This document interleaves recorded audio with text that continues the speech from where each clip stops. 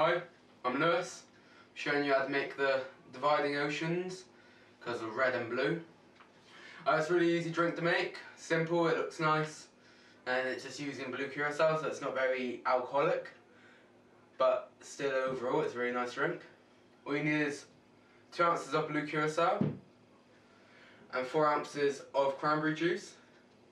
Simple glass, no shaking needs to be done. Um, also an ounce of lime juice, an ounce of lemon juice to have a bit of sourness. Uh, so let's get started.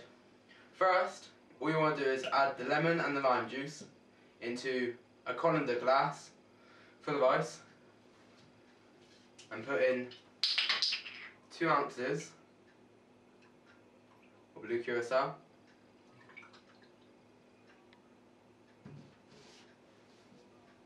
and then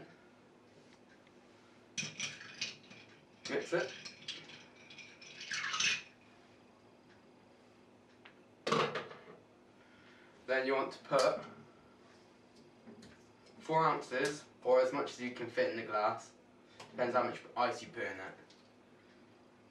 But you should fit about four ounces of cranberry juice on top. And then it should start have the cranberry juice on top to make a purple layer and a red layer. Simple as that.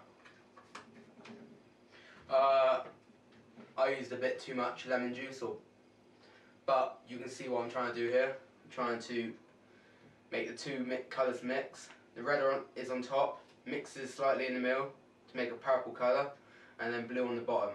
So it's like the Red Sea mixing with a blue sea, pretty much. And it's quite easy to drink.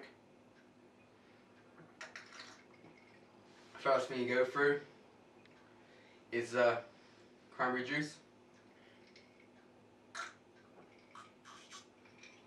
Then you get to a more sour orange flavour, which is really nice.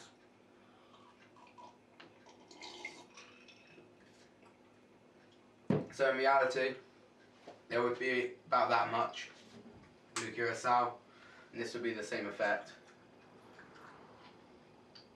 Because I just pretty much drank the whole lot of the cranberry juice off the top.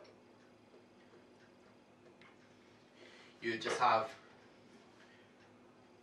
the red, pinkish, going down to really dark purple to blue. It's really nice. And to finish it off,